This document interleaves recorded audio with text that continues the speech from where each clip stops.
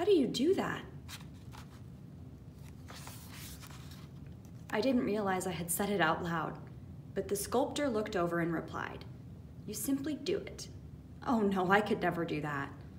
How do you know? he asked. I just know.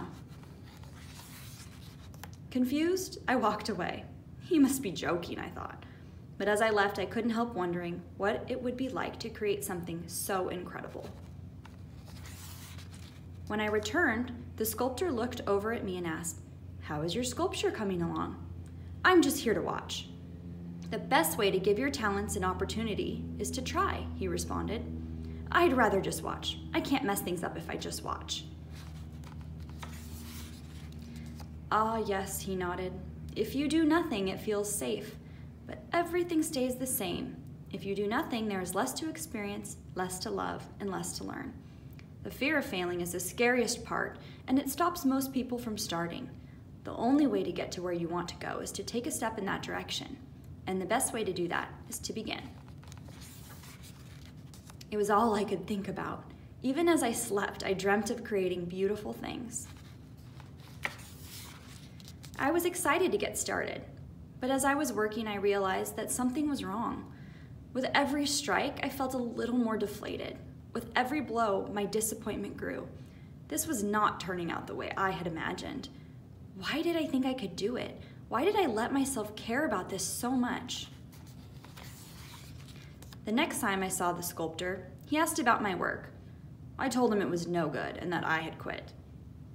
Why would you do that? he asked. Because it feels awful to want something so badly and then just be disappointed. Yes, the sculptor replied. Disappointment hurts, but failure is temporary and in many ways necessary. It shows us how something can't be done, which means we are a little closer to finding out how it can. When you first tried to walk, you fell, but you picked yourself up and tried again. You were willing to fail over and over and over, and that is why you succeeded. How do I know this? You're standing in front of me now. I had tried and I had failed. Now he was asking me to try again? What good would that do? I had already proven I couldn't do it. But if I was honest, I wanted to believe I could. So even though I worried that I wasn't good enough, I decided to try again. I worked and worked, then worked some more, and while I could see it was a little better, it still wasn't all that I had wanted to be. I stormed up to the sculptor. See, I told you I wasn't any good, and this proves it. Are you happy now? Yes, he replied. I'm happy. It's good to see you sculpting. But it's terrible. I don't even know what I'm making anymore. You're making progress, he explained. I see talents emerging. I see risks being taken. I see courage. I see caring. I see perseverance. Yes, I see much progress indeed.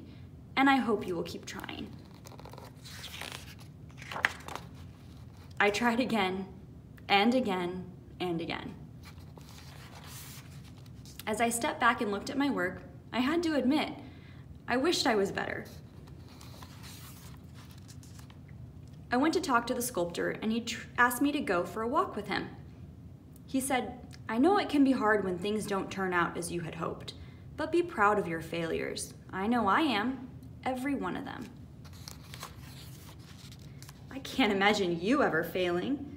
He laughed, more times than I can count. But each time you fail, you get a little smarter, a little braver, a little stronger. The truth is, we're all failures the dreamers, the doers, the creators. Being a failure means you loved something, you cared. It means you stepped forward. You didn't hold back, you tried. That's why I brought you here. He gestured to the statues around him. These are my friends, these are my failures, and I'm grateful for every one of them because they helped me become who I am today. I will tell you a secret, the sculptor confided. I am now much closer to the end of my life than the beginning, and time passes whether we have the courage to do something good and worthwhile or we don't. It's been years since he's been gone.